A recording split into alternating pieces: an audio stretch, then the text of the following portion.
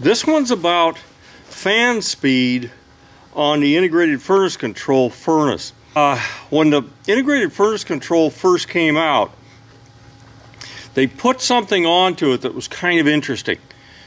People that wanted their fan motor on all the time, and a lot of structures that works good for. But if you wanted it on all the time, you would energize G at the thermostat, would be the fan auto off position. And it would go to high speed, which is a cooling speed. Well, normally the reason it's set up that way is when Y is energized at the thermostat, then G is also energized. When the air conditioner comes on, you want high speed on the fan, so you energize Y and G, and that turns the fan to high speed.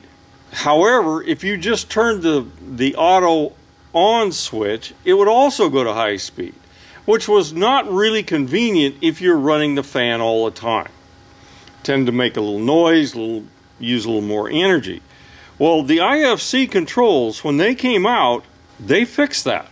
So the way it's set up, and let's get close to this thing, when I energize from R to G, right here, then the fan goes to low speed.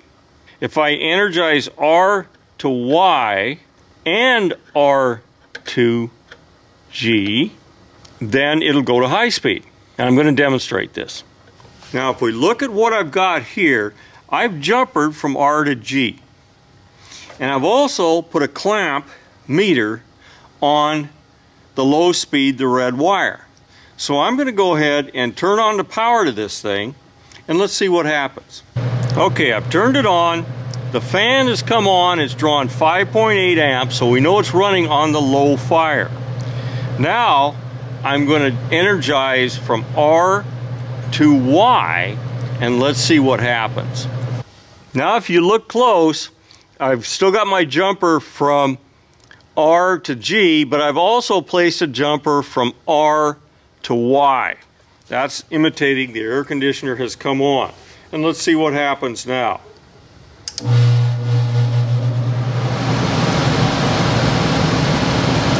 Okay, you can see I've clamped the black wire, which is high speed. And of course, we're showing amp draw. If I go to the red wire, you can see I get no amp draw at all. Okay, that's how the integrated furnace control deals with the, uh, the fan being on continuously.